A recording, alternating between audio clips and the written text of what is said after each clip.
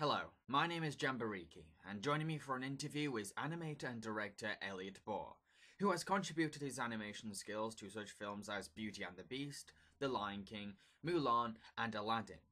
He's also directed several Winnie the Pooh movies and the direct-to-DVD sequel to The Emperor's New Groove, Kronk's New Groove. Thank you for taking the time to be interviewed, Elliot. Absolutely, my pleasure. Okay, let's go back to the beginning.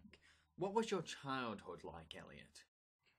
Uh, crazy. Now, my childhood, um, you know what? I was definitely one of those kids who was obsessed by animation. Um, you know, I was kind of a loner. I didn't have a whole lot of friends. And so I spent many, many hours in my room with the door shut making little animated films. Um, I, you know, I, I, my parents had gotten me the book, um, The Illusion of Life by Frank Thomas and Ollie Johnston because as a kid all growing up, I would watch cartoons. I was, you know, one of those kids who was so obsessed with Saturday morning cartoons that when I would get the TV guide, I would highlight all the shows that we were going to watch in order, starting at 6 a.m. and going till they finished. And, uh, you know, I think my parents realized early on that I was really, really interested in animation. And uh, my mom really encouraged me um, with my talent and brought me sketchbooks and brought me, you know, books about animation, as well as put me in art classes on Saturdays. And I would just read through those books and I would sketch all day long in my in my sketchbook. And then when I was turning 13, um, I asked my parents for my 13th birthday, I begged them to get me a Super 8 camera because I had seen this TV special about these kids who were doing animation frame by frame by frame using a Super 8 camera that could take single frame. And so I was very specific with my parents. I'm like, you got to get the Super 8 camera and you have to make sure it has a button on it where you can do single frame. Make sure. And uh, I was very fortunate because they indulged me and they ended up getting me this camera, which I then continued to make like 10 different Super 8 films with. I, you know, I took the camera, took it into my bedroom and just, you know, would, would take my action figures and do stop motion. And I would take, you know, uh, silly putty and make blob movies that would eat, you know, all the, uh, my action figures or whatever. As well as I experimented with hand drawing um, you know, sort of really looking at the illusion of life and really reading it and absorbing it and understanding how animation was done. And um, I, I think that was pretty much my childhood in a nutshell. I really was obsessed by animation. I knew from a very early age that I really wanted to be a Disney animator. That's what I knew I wanted to do. And um, I knew that basically I needed to take all the steps to get there. Unfortunately, I had very encouraging parents who you know, um, really encouraged that in me and indulged me and helped me get there. So, what was the next step? Did you take an academic animation course? Yeah, well, what had happened was um, my parents took me as as I was in high school and getting ready for college. Um, my parents, you know, took me to visit a couple of different schools, and I went and I visited Cal Arts um, uh, out in California, even though we were living in Florida at the time. Um, we took a trip out to uh, California, where I currently live, um, and you know saw Cal Arts, and I really thought I was going to go to Cal Arts. Uh, but we also visited um, a couple of schools in New York, Pratt and SVA, um, and my mom had found this art teacher um, who I could take additional classes with after high school. Um, so she was this private tutor, and you know only took on like five or six students at a time. Um, and so after school, when I would get done high school, I would, you know, go over to her house and, and draw and paint and sculpt. And I really learned a lot about art that I'd never done before.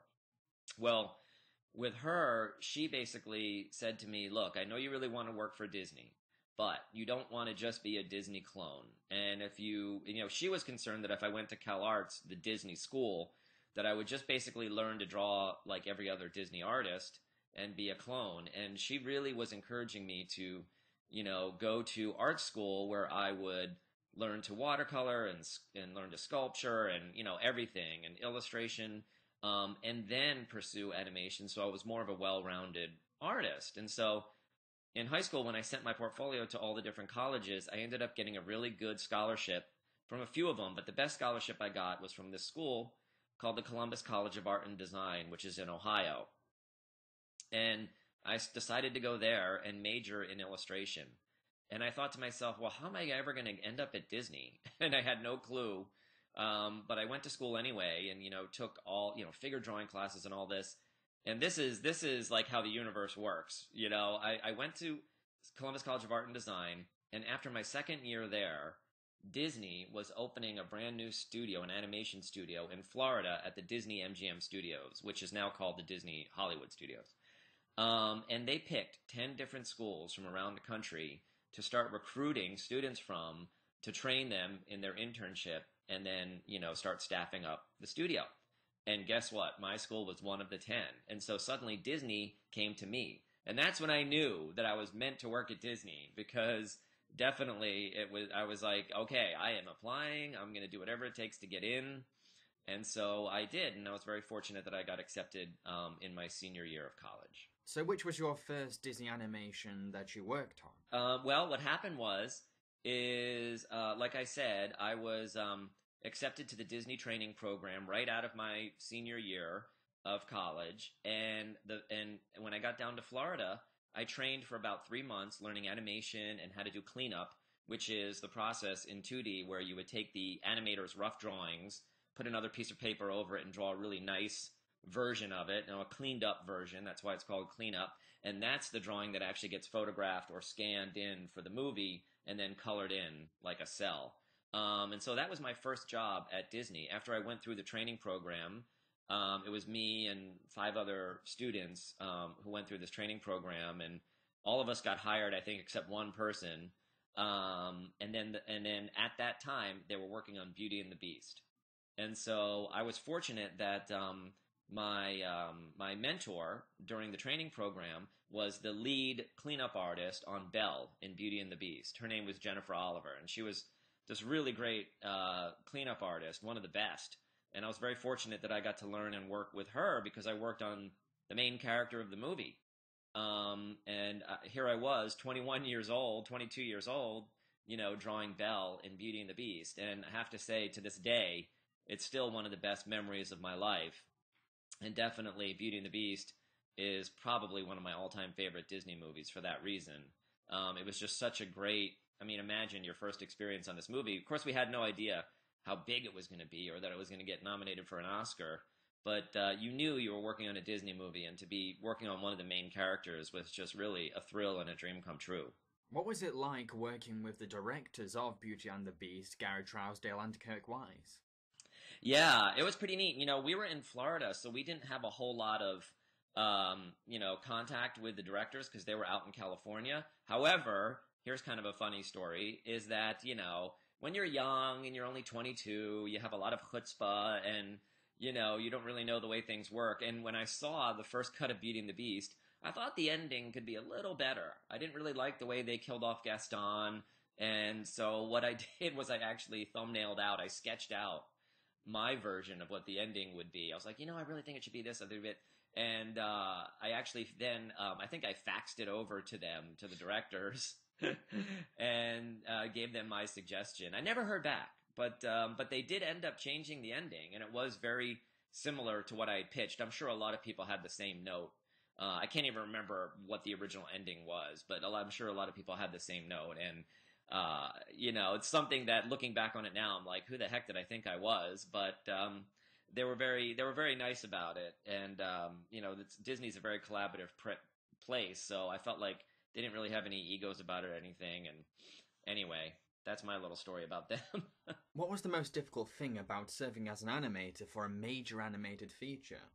You know, I would say that, um, you know, when I started, I was a cleanup artist. I started as, as an in betweener on Beauty and the Beast. Like, basically, the, the entry level position was an in betweener.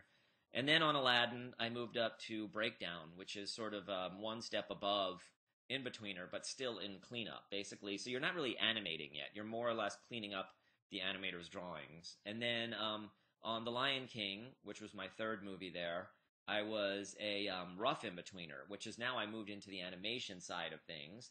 And a rough in betweener is basically like an animator's assistant in a way, where you're you know you're adding more drawings to what they've animated to basically flesh it out and um, make it look smooth. Um, and then it wasn't until Mulan where I became a full fledged animator. and I was animating the character Mulan with Mark Henn, who was the lead animator. And that was just a thrill and an amazing time of my life too. And it was what, uh, you know, finally my dream had come true. Here I was, a Disney animator, like I had dreamed about since I was a kid. However, what's so interesting was even though I was living out my dream and I was animating, I really found animating to be quite difficult for me. I don't think it really came that naturally to me, number one, but number two, I just found it very hard to sit, you know, at a desk day after day and sort of draw the same thing over and over and over and over again. Because what happens in animation is you you animate it once and then you you know you film it and then you look at it and then you know you decide oh that could be better that could be better and then you do it again. And then you show it to your lead animator and he gives notes and you do it again. And you show it to the directors and they give notes and you do it again and I just felt like you're working on this one tiny part of the movie for weeks and you're doing it over and over and over and it just began to be very monotonous to me. It wasn't a whole lot of fun. And I have to say that that's when I realized that you know maybe uh, working in animation the actual animating really wasn't for me.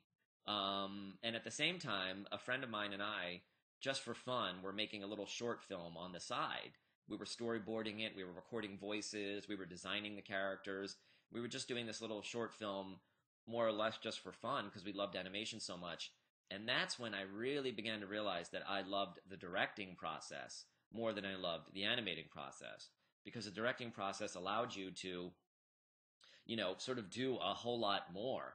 Like you got you got to put your finger in just about every part of the animation process. You weren't tied down to one specific thing. So that's that's when I really it was in animating for the first time of Mulan when I really realized that what I really loved was directing. And in 2004, you were granted the opportunity to direct your own Disney film, Springtime with Roo.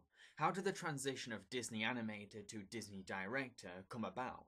Well, what happened was uh, very, not very easily, I can tell you that much.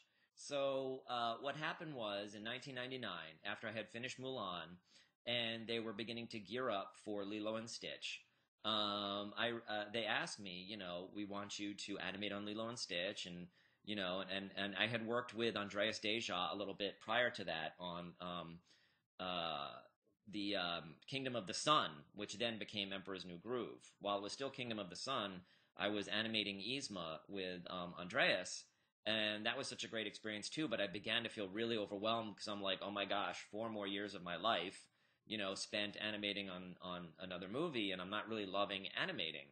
Um, so what had happened was they were asking uh, uh, for me to, you know, sort of sign on for Lilo and Stitch, and I was really at a crossroads in my life. I had just turned 30. This was 1999.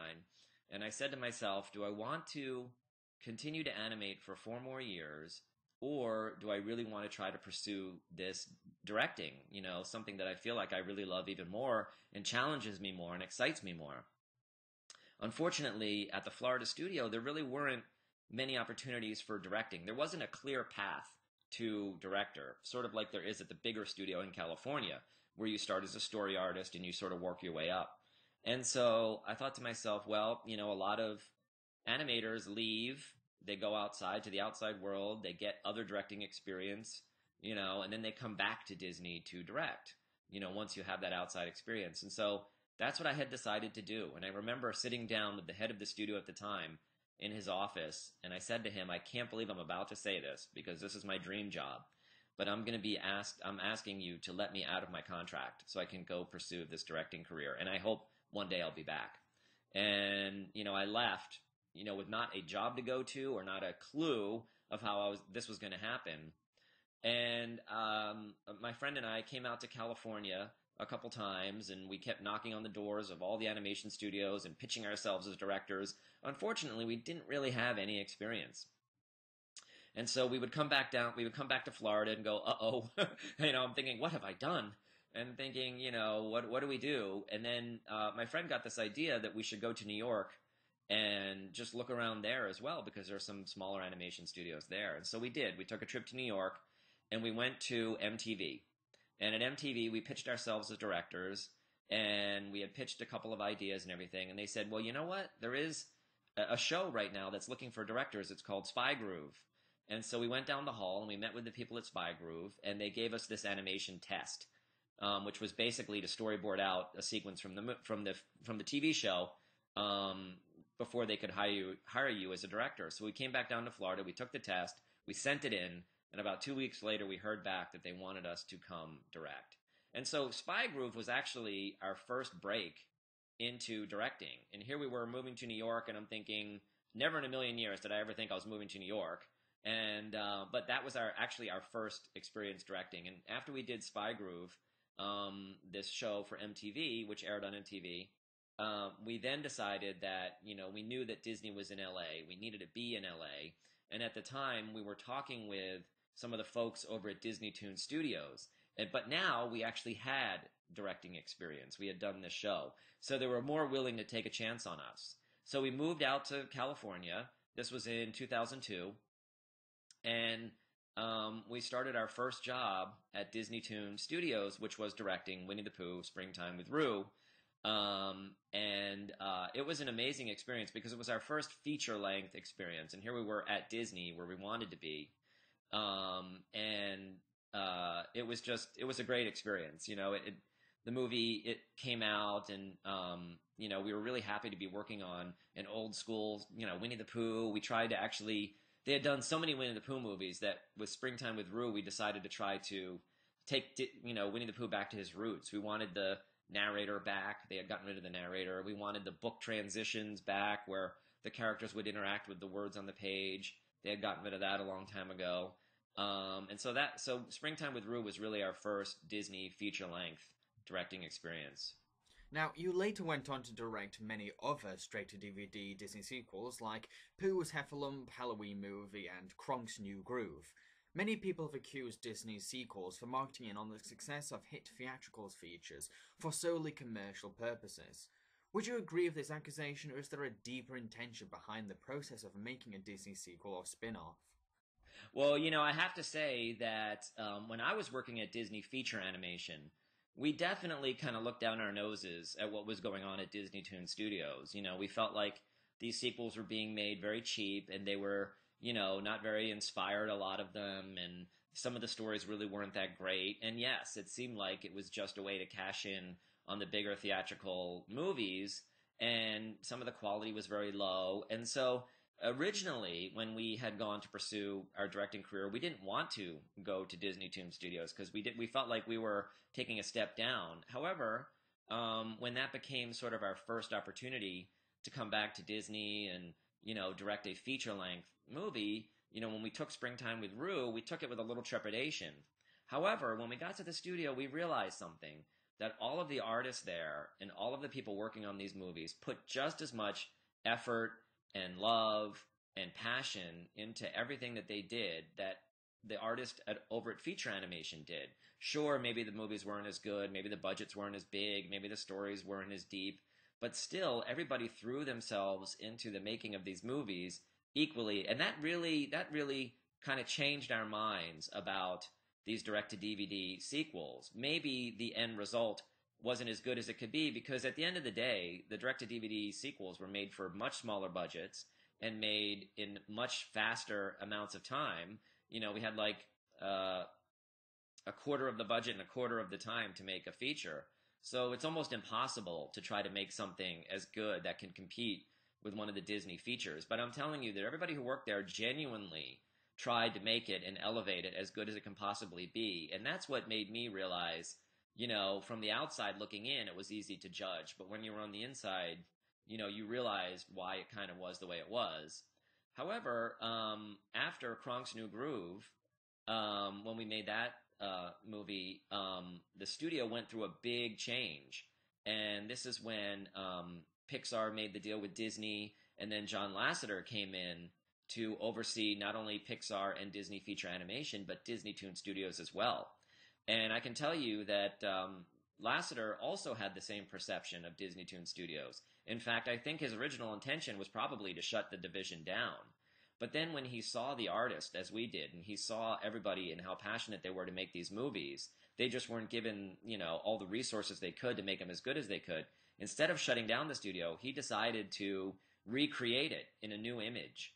And that's what the new Disney Toon Studios, which began around, I would say, 2008, under the guidance of John Lasseter, the quality and the stories and the quality of animation and everything has just been raised so much under him. Now I've seen a picture of you stood next to two of Disney's nine old men, Frank Thomas and Ollie Johnston. What was it like meeting these two legends of animation? Oh, it was such a thrill. I am so happy I had a chance to sit down with them and talk with them before they passed away. The way that came about was when my directing partner and I were on Winnie the Pooh Springtime with Roo. And like I said earlier, we were trying to, you know, in, in, you know, this was a very low budget direct to DVD sequel. However, we were still trying everything we could to bring Winnie the Pooh back to his roots from the original Winnie the Pooh movies that Frank and Ollie had worked on. And we, like I said, we wanted to bring the narrator back and the book transitions back. We wanted to bring the character designs back because they had strayed a little, and even the colors of the characters had changed over time, and we wanted to bring those back. And so we actually wanted to sit down with the two surviving nine old men and pick their brains about Winnie the Pooh. And so that came about because we you know, spoke to them and said, "Hey, we're directing this Winnie the Pooh movie. We'd really love to hear your guys' thoughts about Pooh." Of course, that was also an excuse just to meet them, but uh, it was great because we got to come over to their house, and they were both so lovely and so wonderful and so generous with their time, and to sit there in the presence of these legends. Because remember, when I was a kid, I had read The Illusion of Life, and that's part of what inspired me and started my journey down animation. And here I was sitting with the guys who wrote that book um, but be able to talk to them about Winnie the Pooh and talk to them about what how they saw these characters and how they saw, you know, what they saw in each of these characters and how simple-minded Pooh is and, you know, Piglet and what his character is like. But also we got a chance to talk to them about a lot of other different things. And um, they were so nice. They showed us some animation drawings they had, you know, that they've kept over the years. They just had stacks and stacks of things at their animation desk that they flipped through for us. And um, it was it was absolutely a thrill and one of definitely one of the highlights in my animation career to be able to spend time with them. And a short short time later, they both passed away, so I felt very fortunate we got that when we did. A lot of your films include musical numbers. How hard is it to adapt a song into a series of visuals? Yeah, that's a great question because it can be very challenging. I'll give you probably the best example is in Kronk's New Groove um, there is a song sequence um, to Earth, Wind, and Fire's uh, Let's Groove Tonight. And that song was a very tricky song because we knew it was the part of the movie where Kronk and his love interest are sort of beginning to fall in love. Um, and we didn't want it to be sappy. We didn't want to take it seriously because it's the Emperor's New Groove. You know, we wanted it to be funny. So we wanted all these really great gags in there. Um, but at the same time, we really wanted to choreograph this dance between Kronk and um, Miss Birdwell, who was his love interest. Um, and we wanted it to, you know, at first for you to think that, uh, of course, how could this big lug actually dance well? But it turns out he's this amazing dancer. And so what we ended up doing was uh, my directing partner and I both choreographed this song out, basically all the different moves that we wanted the characters to do. And we videoed ourselves you know, um, dancing. Uh, you can see a little bit of it. There's a behind the scenes making of on DVD, and I, I think they show some clips from that. But um, we actually filmed all this dance reference of ourselves, um, figuring this out, uh, you know, as best as to our ability. You know, we're not cartoon characters, but at the same time, uh, and then we sat down and we plotted out where we wanted each gag to go. It was very difficult. That was one of the most challenging parts of that movie. Song sequences are difficult because you're trying to tell a story at the same time that you're trying to entertain and trying to to um, move the visuals along as well and keep it snappy and entertaining. And um, they are each song in and of itself is a little bit of a challenge. Um, uh, but it's something that's one of my most favorite things to do in a movie when I do get a song sequence is because it just gives you an opportunity to almost go into an imaginary world or try something completely different um, you know, elevate it. You know, you kind of go into hyper reality, as I say. Um, it's not exactly the reality of when you're outside the song. Once you're in a song, you can kind of make things like if you look at "Be Our Guest" for an example.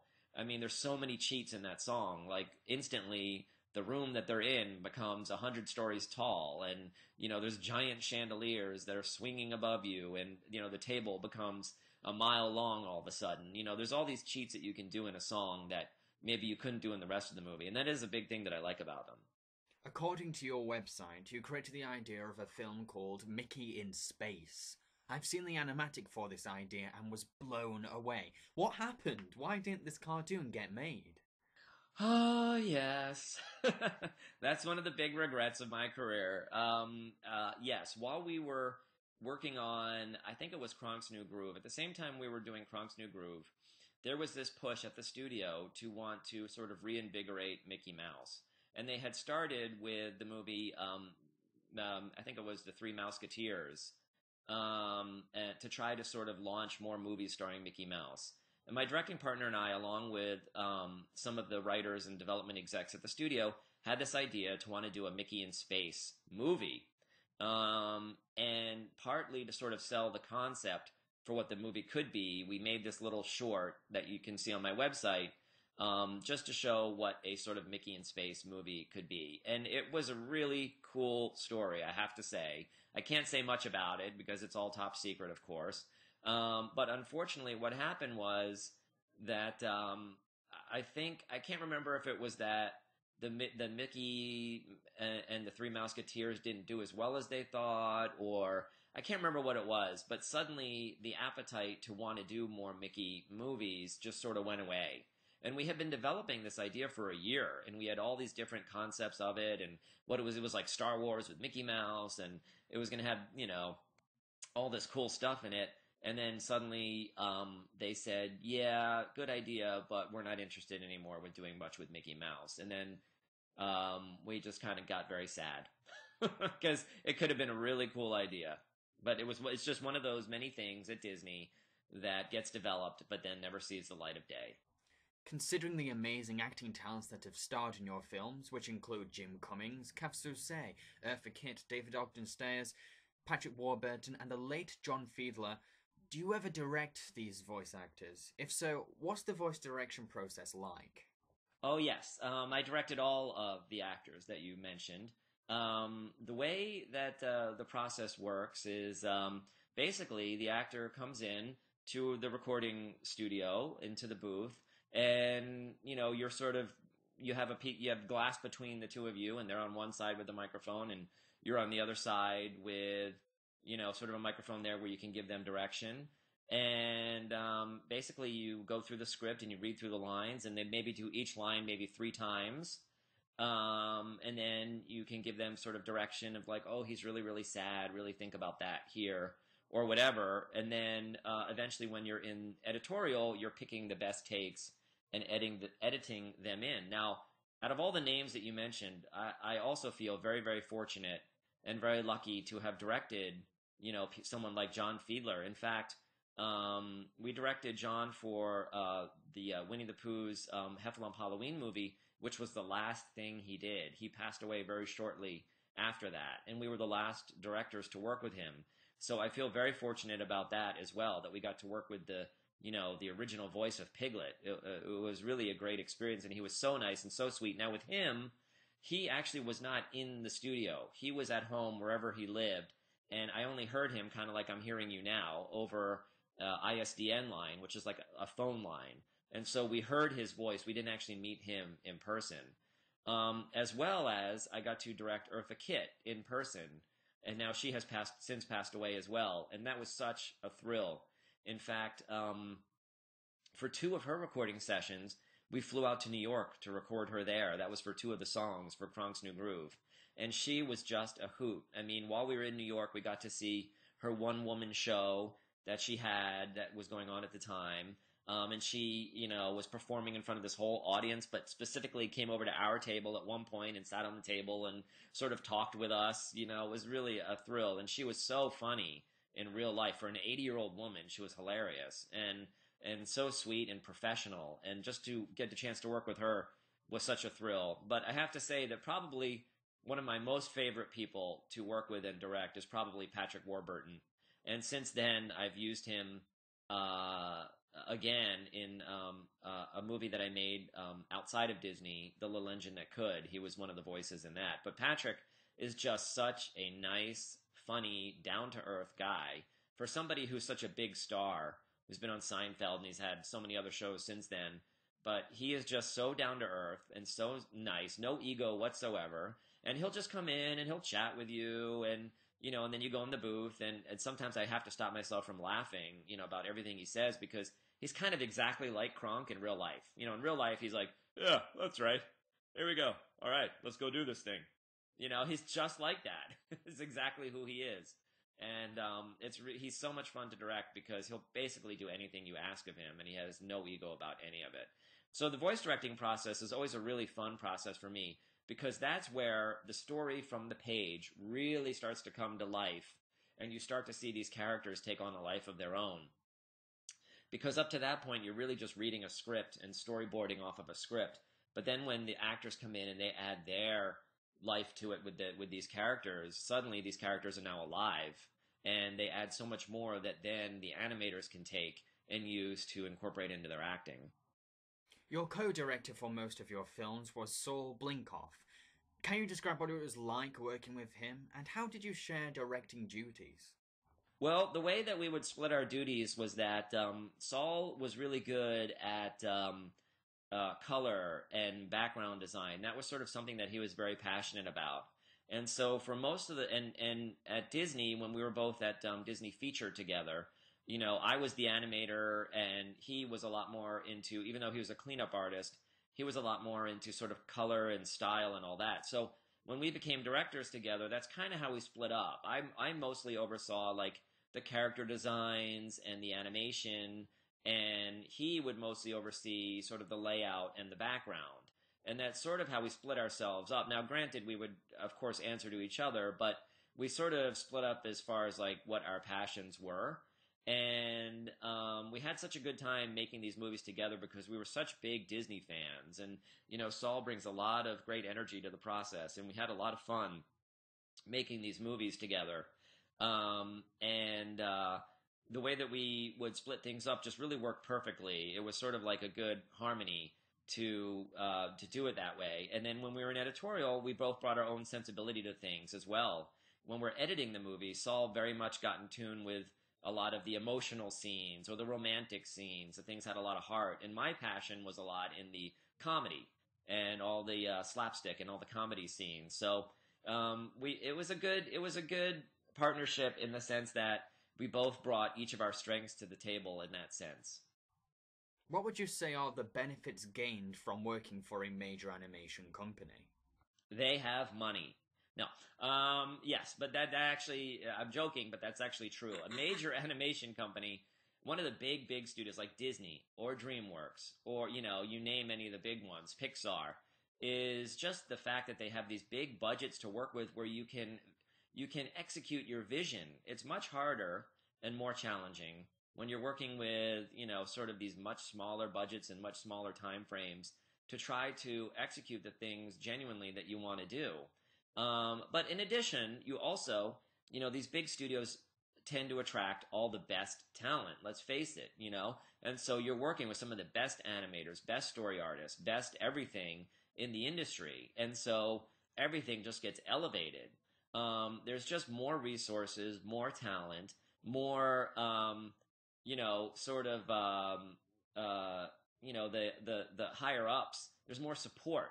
There's just more support from you know, the whole studio as a whole. I mean, like someplace at Disney, let's say, you have the whole marketing department behind you pushing your movie. You have, you know, this whole machine that makes toys and everything that can, you know, help promote the movie. So that's definitely one of the benefits working for one of the big studios is you just have a whole lot more support, a whole lot more talent, a whole lot more resources just to be able to take this thing that's taking four years of, or more of your life and ensure almost that it's going to be a success. Are there any downsides to working for a major animation company? Ah, great question.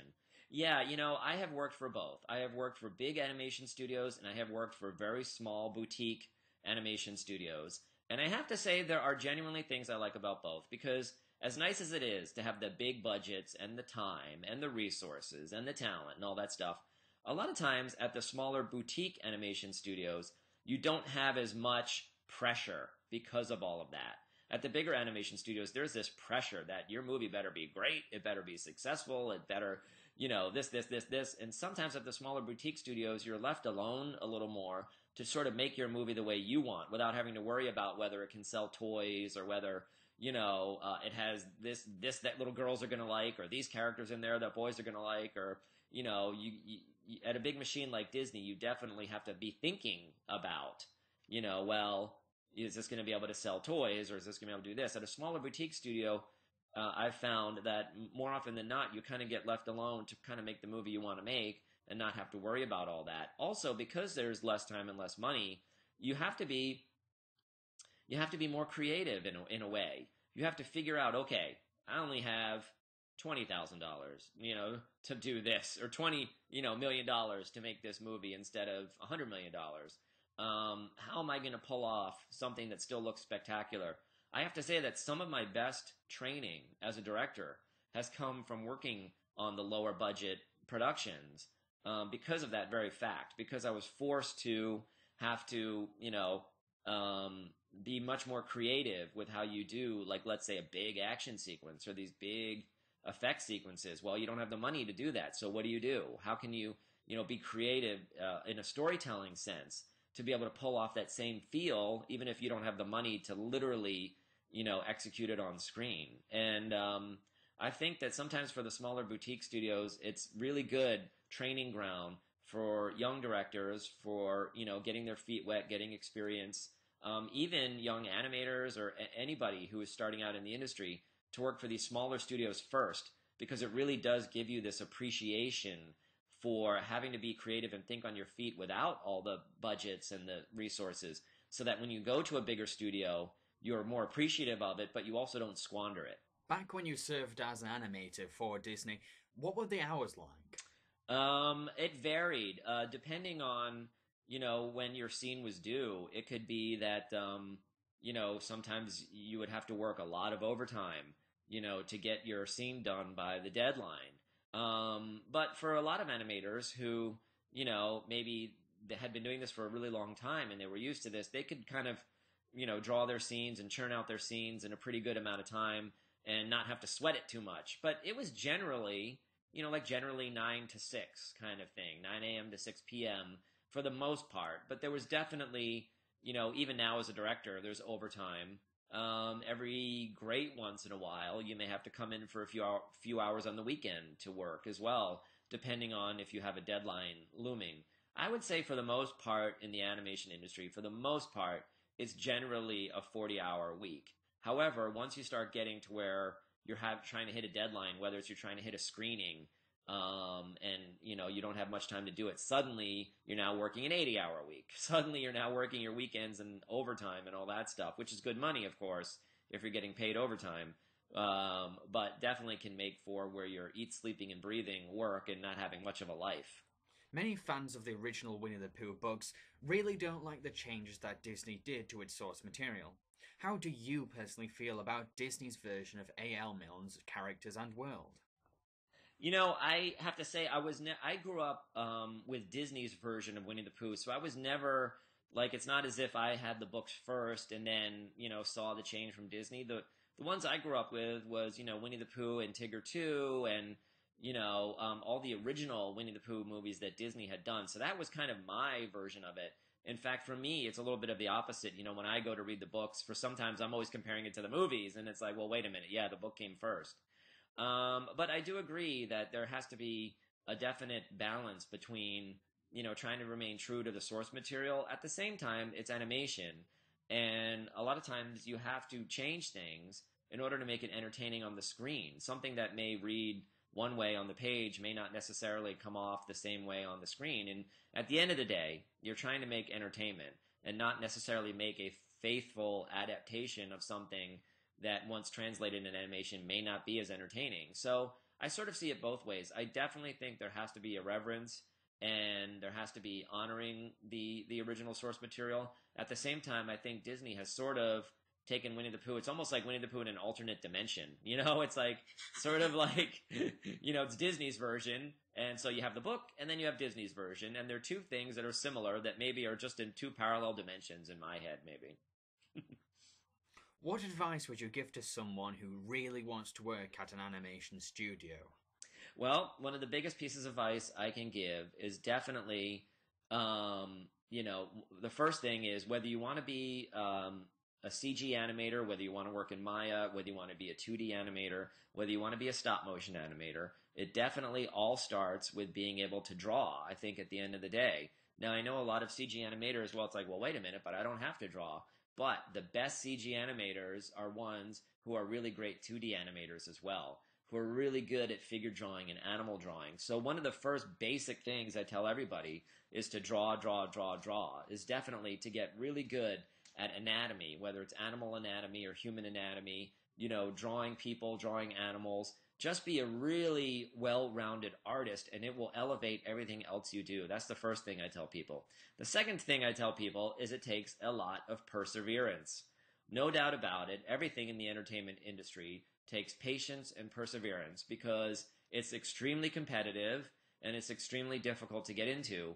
And um, a, a, lot of what it takes is being able to uh, endure rejection, endure being rejected after rejected, rejected. Like I said, when um, Saul and I were first going towards a directing career, we were rejected way more than any job that we got, you know? And it was a lot of that having to pick yourself back up and keep moving forward and pick yourself up, keep moving forward and keep trying hard. But I think anybody that is really talented, that has you know, the ability to persevere through all of that, but also is really good. I mean, talent rises to the top. Eventually, if you are really good and you are really talented, you will make it in this industry and you will get a job. But for most people, it's going to take a lot of perseverance and trying again and trying again and constantly trying to better yourself, constantly trying to up your game. If you have an animation reel, and let's say you're waiting to get a job in the industry and you're sending out your your reel and you're waiting weeks and weeks. Well, don't just sit there and wait for the phone to ring. You should be working on more animation tests. You know, do a dialogue test, do more acting. Like, never stop because everything that you add to your animation reel is only going to make it better the next time you send it out. Um, and so I think that's probably the biggest advice I can give people is, you know, continue to always improve, improve, improve yourself, work at it, work at it, work at it. At the same time, realize that sometimes it takes time to get into the animation industry and it takes a lot of patience and perseverance as well. What would you really like to accomplish in the future one day? One of the biggest goals for me right now is to eventually get to a big budget theatrical feature. I think that that for me is my ultimate goal is to have, you know, uh, a movie that plays in the theaters to a much wider audience than anything that I've done previously based on uh, an original story that comes out of my heart. Most of what I've worked on up until now have been stories that are either based on something or, you know, they're sequels to something else. And as much as I love that and I enjoy doing that, and I really genuinely enjoy working at Disney Toon and all the projects that I'm doing right now, I eventually do, of course, I think for every director, want that big movie that you can sit in a movie theater and really listen to an audience enjoy something that you've created. Because for me, that's really where the most pleasure comes from. One of the downsides to making movies that come out on DVD is it's almost a little bit of a letdown when your movie comes out because you never get to experience it with anybody. It goes out there and you know, you, unless you're, you know, going to your family and watching the DVD with them, you don't get that experience of sitting in a theater and hearing people laugh and cry and applaud and whatever at something that you've created up on the big screen. And I really do look forward to that experience one day. Well, thank you for taking the time to be interviewed, Elliot. Absolutely, my pleasure. You gave some wonderful answers. Well, thank you so much for asking me. I really appreciate it.